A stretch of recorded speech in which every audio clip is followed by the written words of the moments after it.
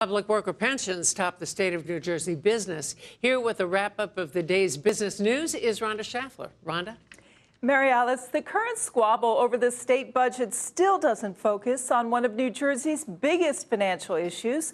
That's according to Tom Byrne, chairman of the State Investment Council. He spoke at a roundtable on the state's economy this morning in Atlantic City at the annual convention of the New Jersey Society of CPAs.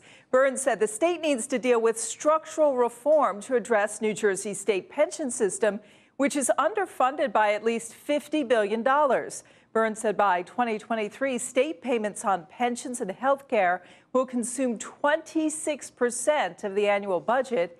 He added that financial burden on the state could wipe out any discretionary spending or result in massive tax increases.